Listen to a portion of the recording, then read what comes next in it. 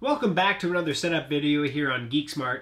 Today I'm doing a setup on, well, what actually is the Google Home Mini. Now this is actually going to pertain to basically any Google Home product out there, but in this case we are focusing on the Mini, especially at the price that it's at, uh, 29 bucks still uh, for the holidays here, so if you're opening up your Christmas presents and happen one of these maybe in your stocking stuffer, this will help you do a setup if you have any questions.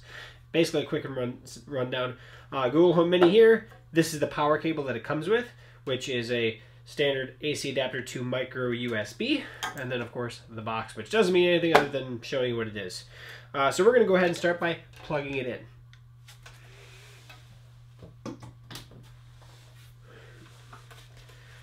Alright, so well my cord is long enough to do this. Plugging it in, and we're just going to let it boot up. Now it's going to tell us when it's actually ready. In the meantime, you're going to want to grab your handy mobile device, whether it's a phone or a tablet, and download the Google Home app. All the setup is actually going to be done in the Google Home app, which is looks like that. So search your, uh, any app store that you currently run, and make sure you download the correct app, and then we're going to go from there. So she's basically about to tell me that we're ready to go.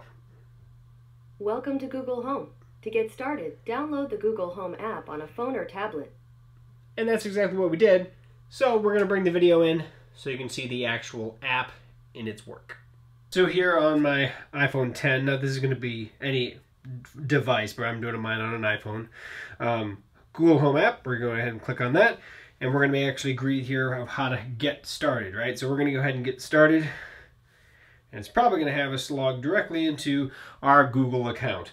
So I'm going to go ahead and do this off camera, and then I'm going to come back after this step. But Google Home is, or Google account, email, and then password. After you log in with your correct password, you confirm the account, which is underneath my phone, or my finger here, and I'm going to go ahead and confirm that. So now, after we confirmed the account, it's looking for the devices that are out there.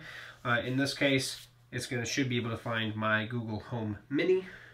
There we go. It actually found my Mini. Hit next.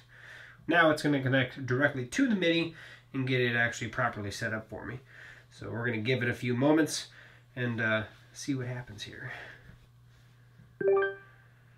Yes, I heard that sound. So did I hear the sound? Yes, I'm going to hit the yes in the bottom right corner. Where is the device located? Well, right now it's actually in my basement. I'm going to hit basement. So next. Connect to the Wi-Fi. So I'm going to select my Wi-Fi connection. Hit next. And while it's connecting to Wi-Fi, We'll give a give it a few moments to do that. Do do do do do do connected. And we're back up and staying straight there. Up your Google Assistant. Now these are going to be the various terms and conditions, stuff like that.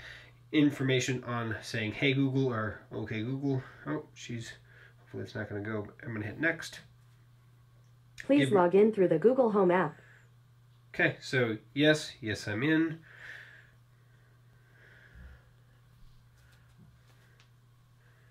set up your so now we're going to actually teach our assistant to recognize my specific voice. So yes i'm in.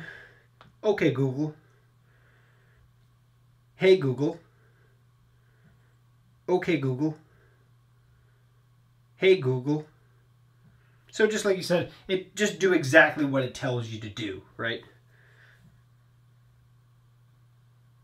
and we're waiting for that to assign all that information make sure it does all of its stuff there. Training complete.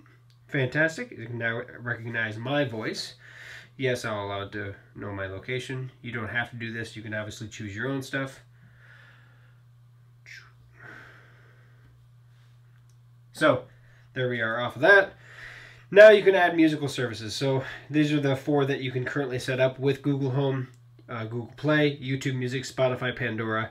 If you were to choose any of these, you hit the plus sign and you'd log in with your credentials. I'm going to go ahead and skip that step. Hit next. Add a payment method. Now this is obviously for uh, information or how to actually, you know, pay things or if you, for tasks like ordering a ride or food. I'm not going to do that right now. I'm just going to hit next. Google Home Mini is ready. And she's standing straight. I'm going to go ahead and hit continue. Hi, I'm your Google Assistant. I'm here to help. To and learn now, a few things you can do, continue in the Google Home app. We're good to go. It's fully set up. there's not a whole lot more other than using it unless you want to actually start setting up more of your, um, well, nope. There we go.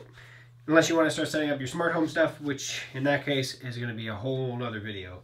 But for that matter, we are set up. So that is the setup of the Google Home Mini, or in this case, any of the Google Home products.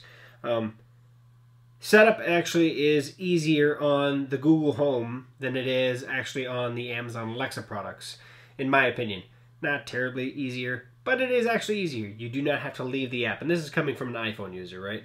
Because on the iPhone or the Alexa app, I do have to leave the settings to go to my settings app to connect to the Wi-Fi and then go back to the app. Where the Google, I don't have to do that. Also, it automatically puts the password of my Wi-Fi in it for me. So it's kind of nice. Um, with that said, um, there are benefits to both. So I'm not going to get into that. I do have a video over on my Tech Gooch channel where I did do a small comparison, at least in the few, first few days that I actually owned the Google Home Mini. Um, but I also have full reviews on several of the Alexa products. So that said, guys, I want to say thank you for stopping by. Please comment below if I did something wrong or something's different maybe on your app or on your side with Android. But that said, I hope this at least gives you a little bit of a hand in case you had any kind of issues with it. Now, I will say one more thing. In case you are not happy with the product and maybe you do want to change over to the other side of the coin, the Amazon products, and you're going to take this back, you're probably going to want to factory reset it. How to do that? On the bottom of the Google Home Mini, at least, there is a little, well, right next to the power cable, there's a little dot, basically, that's uh, in the rubber bottom all it actually is a button underneath the rubber button. What you do is you push and hold, and it'll actually tell you what's going to actually happen. You're about to completely reset Google Home. To cancel, release the button. And I'm not going to reset. I'm going to go ahead and just keep holding. And it'll chime, and you can release, and now it's resetting.